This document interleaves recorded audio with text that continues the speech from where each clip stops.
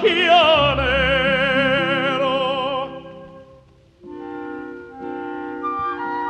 l'arte nel suo mistero le diverse bellezze insiem confonde ma